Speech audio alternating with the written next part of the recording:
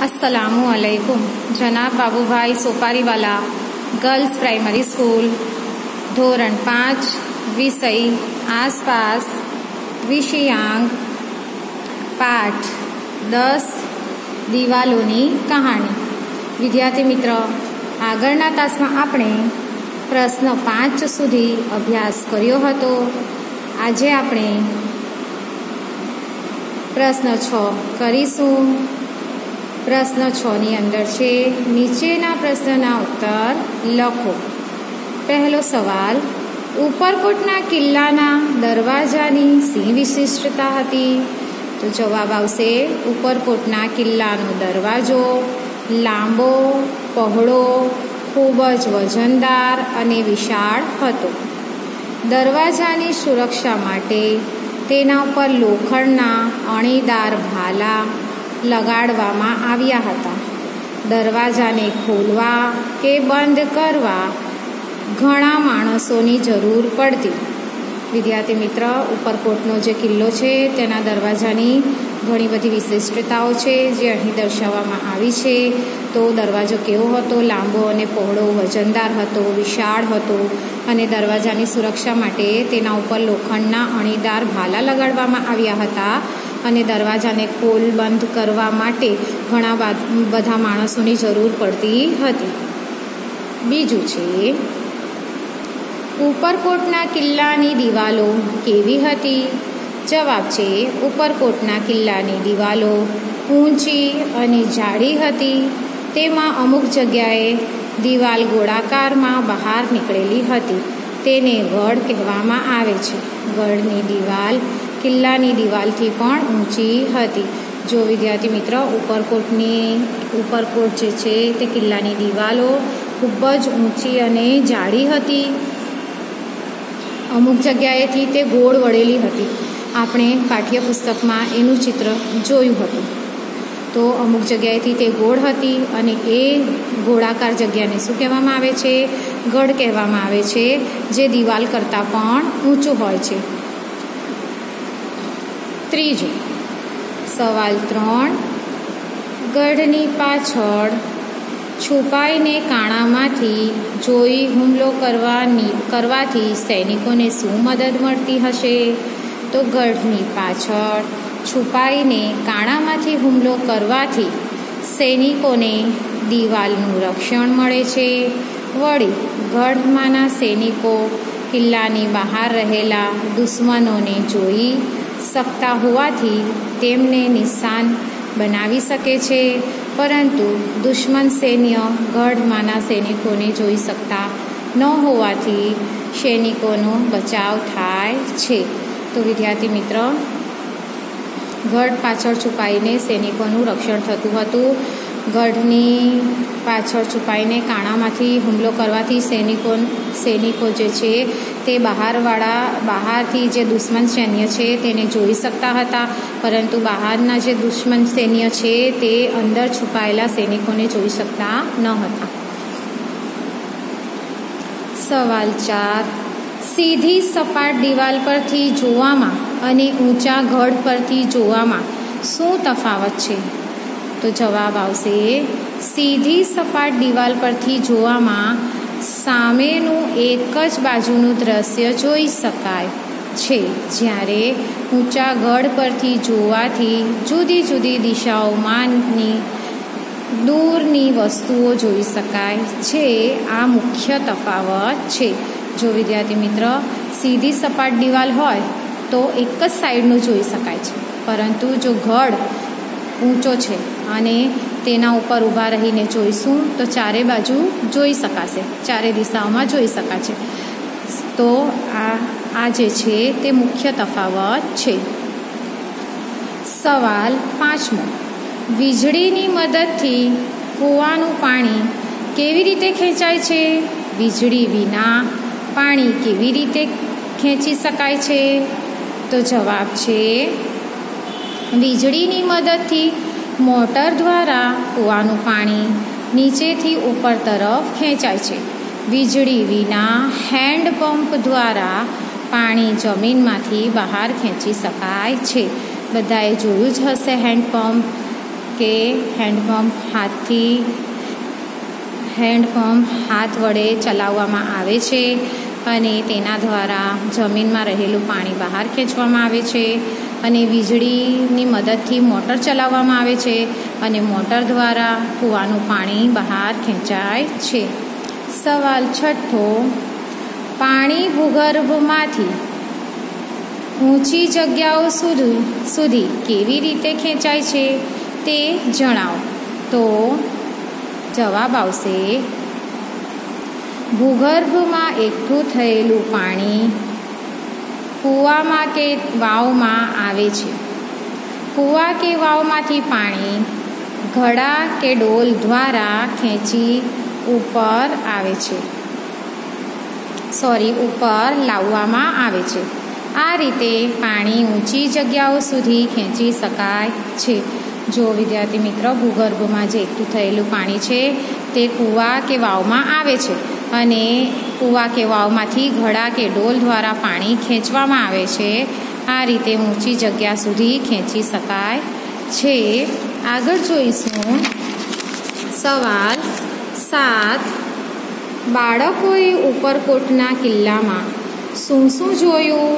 જવાબ આવશે, બાળકોએ ઉપરકોટના કિલ્લામાં નીલમ અને માણેક ટોપ, અડીકડી વાવ નવઘણ કૂવો, રણકદેવી મહેલ, અનાજના કોઠાર ધક્કાબારી પાણીના કુંડ, કડતાલ ટોપ, જામા મસ્જિદ, લશ્કરી વાવ વગેરે જોયા. આ બધી જ વસ્તુઓ બાળકોએ ઉપરકોટના કિલ્લામાં જોઈ.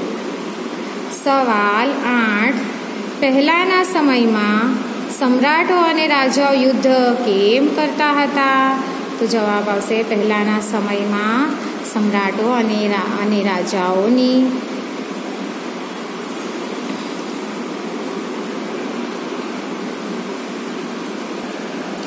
સોરી રાજાઓ નીચેની બાબતો માટે યુદ્ધ કરતા પહેલું, નાના રાજ્યને પોતાના રાજ્યનો હિસ્સો બનાવવો. બીજું, મૈત્રી નિભાવવા બીજા રાજાને મદદ કરવા. ત્રીજું, બે રાજ્યના પરિવારો વચ્ચે લગ્ન સંબંધો બાંધવા. ચોથું, પોતાના રાજ્યોનો વિસ્તાર વધારવા. આ બધા કારણોને લીધે પહેલાંના સમયમાં યુદ્ધો કરવામાં આવતા હતા. સવાલ નવ, તાંબામાંથી, પિત્તળમાંથી અને કાંસામાંથી બનેલી ત્રણ ત્રણ વસ્તુઓના નામ લખો. તો તાંબામાંથી બનેલી વસ્તુ, ઘડા, થાળી, વાડકા. પિત્તળમાંથી બનેલી વસ્તુ, તો એમાં પણ આવશે ઘડા, થાળી અને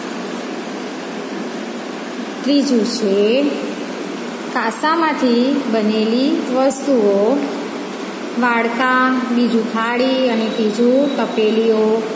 એમાં ગળા પણ આવશે, જે કાસામાંથી બનાવવામાં આવે છે. દસ.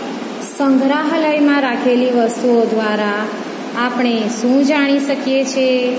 જવાબ આવશે, સંગ્રહાલયમાં રાખેલી વસ્તુઓ દ્વારા આપણે તે સમયના લોકોની રહેણી કરણી પહેરવેશ, ખોરાક, તેઓ શું ઉપયોગમાં લેતા હતા અને તેઓ કેવી રીતે વસ્તુઓ બનાવતા હતા વગેરે બાબતો જાણી શકીએ છીએ. તો વિદ્યાર્થી મિત્ર આપણે પહેલાંના સમયની જે વસ્તુઓ છે, તેના વિશે ઘણી બધી માહિતી મેળવી શકીએ છીએ સંગ્રહાલયમાં મૂકેલી વસ્તુઓ દ્વારા. પ્રશ્ન સાત છે, નીચેના પ્રશ્નના માંગ્યા મુજબ ઉત્તર લખો પહેલું છે, રાજાઓ કિલ્લા શા માટે બાંધતા હતા? તેમાં સિંહ વ્યવસ્થા હતી? જવાબ આવશે, રાજાઓ પોતાની સૈન્યની અને નગરજનોની સુરક્ષા માટે કિલ્લા બાંધતા હતા. કિલ્લામાં તોપો, શસ્ત્ર, સરંજામ, અનાજના કોઠાર, પાણીની વ્યવસ્થા, રાજા અને રાણીઓને રહેવા માટે મહેલ, ધાર્મિક સ્થાનો, થિયેટર સૈન્ય અને નગરજનોના રહેવા માટેના રહેઠાણ, બહારના હુમલા